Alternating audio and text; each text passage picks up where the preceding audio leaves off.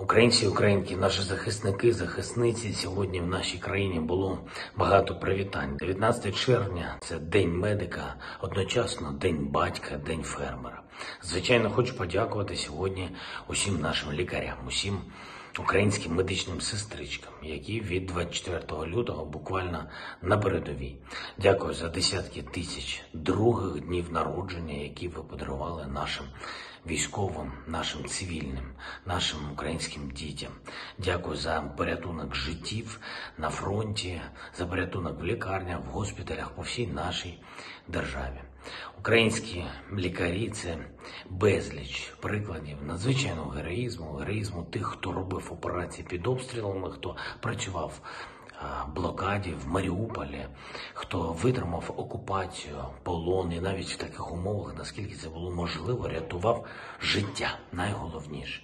Хочу подякувати сьогодні нашим фермерам, тим, хто обороняв свої громади, навіть голіруч, коли зупиняв російських військових хто, попри війну, забезпечив посівну кампанію, тим, хто навіть навіть кого б розвали тракторними військами, коли вони забирали російську трофейну техніку з поля бою. І зараз, коли Росія заблокувала наш експорт через чорноморські порти, увесь світ побачив, хто такі насправді українські фермери і чого варта праця нашого агросектору.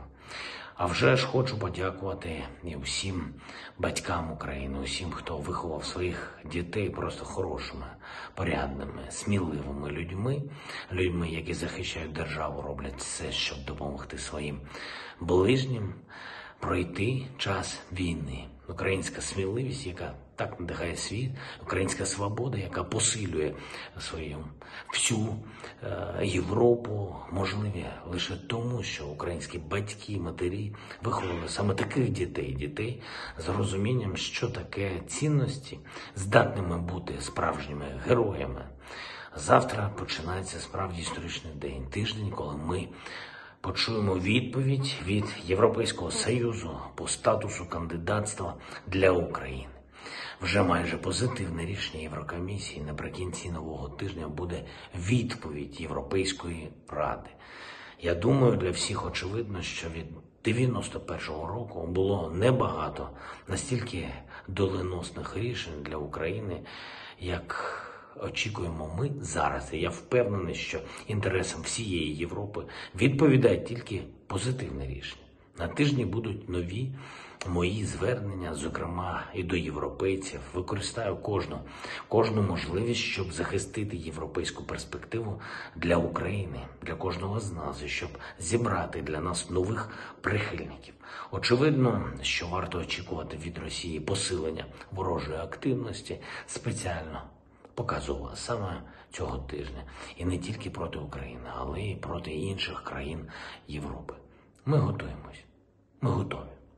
Попереджаємо партнерів. Окупанти накопичують сили на харківському напрямку в Запорізькій області, знову обстрілювали нашу паливну інфраструктуру, хочуть погіршити ситуацію з пальним. Безумовно, будемо і на це відповідати.